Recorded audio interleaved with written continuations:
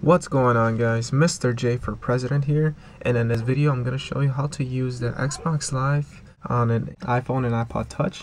I'm going to demonstrate this on an iPhone 4S here.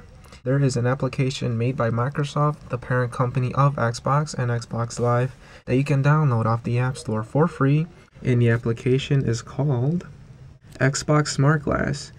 This application enables you to send messages, check on your statuses on other friends, that are on Xbox Live currently or just gives you an overview of your profile on Xbox Live. This is what you are greeted with when you first open up the application that goes to the Xbox service and you just put your information there. As you can see, this is what it looks like when you're signing in. And what you see here first is a last play option. Gives you like a slideshow of all the little apps you have been using on Xbox and here are your recently used applications. Next up is the social part of the application. Briefly see your profile, your avatar, your friends, mail, and beacons. And here on the first tab, you will see any friends that are online currently.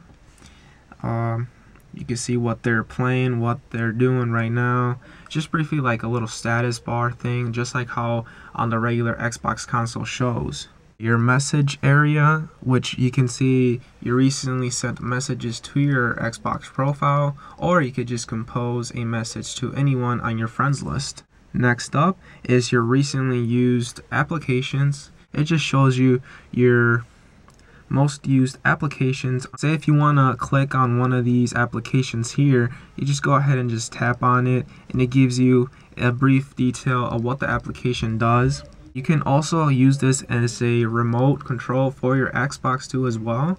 You could press here to play it on the Xbox, but right now uh, this functionality does not work with me right now. I do not have a compatible router, so Next up is your discovery tab option here.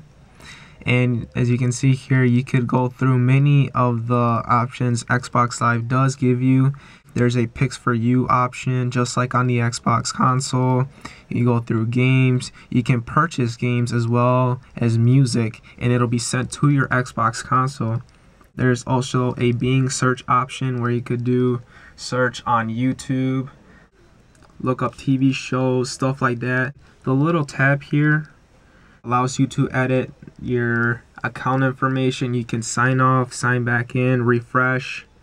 And say if you want to switch different profiles, you can go ahead on the settings option and you can go ahead and sign out. There's also smart glass autoplay, sounds, privacy settings, all that good stuff you could change in your application. So this is pretty much the what the Xbox Live application does from Microsoft. See your friends send them a message to as well.